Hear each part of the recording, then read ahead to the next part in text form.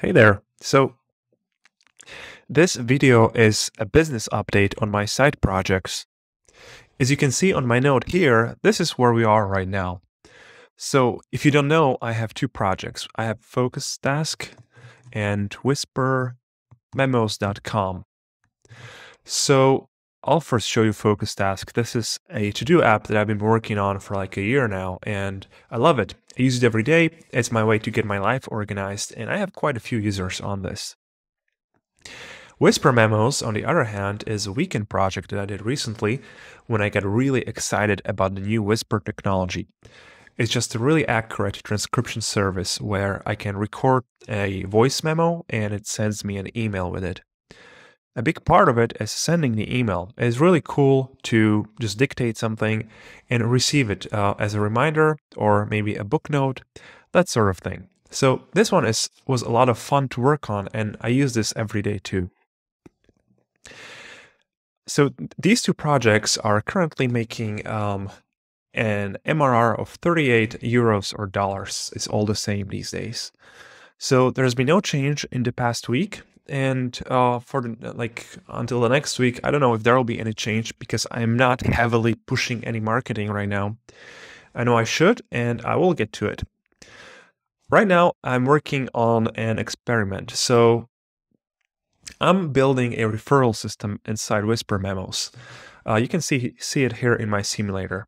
When you when you're trying to subscribe, you'll first see your subscription options, and if you don't like those, you'll see a refer a friend button. When you click that, it'll give you a link that you can copy into clipboard. And when you open that, when your friend opens that, they will be redirected to the App Store.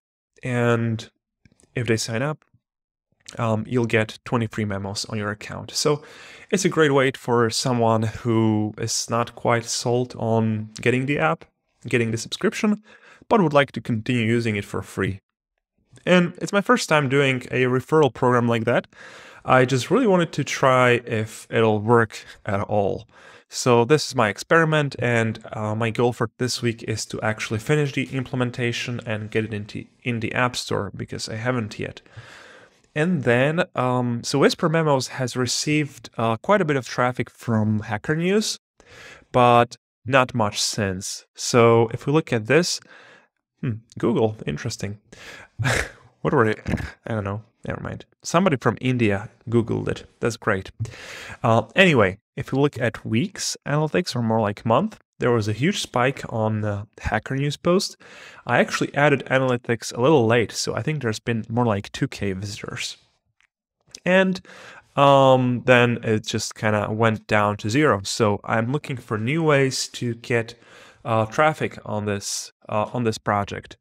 Part of it is that I quickly put together my personal blog here, where I'm posting mostly technical stuff and sometimes little philosophy about being focused, because that's something I enjoy thinking about and reading about.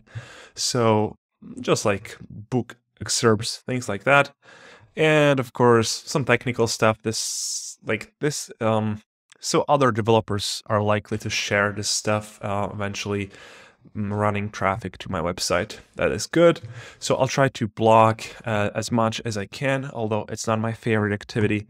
And um, really, I'm just going to be looking uh, at like Reddit and some other websites like Indie Hackers, some places where I could share this project and get a little feedback.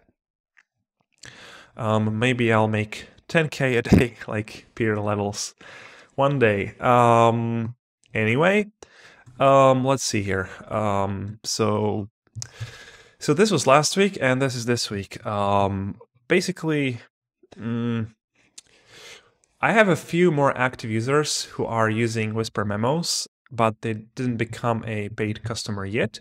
So this MRR could be higher next week, and or they could refer somebody else, which would be great outcome too.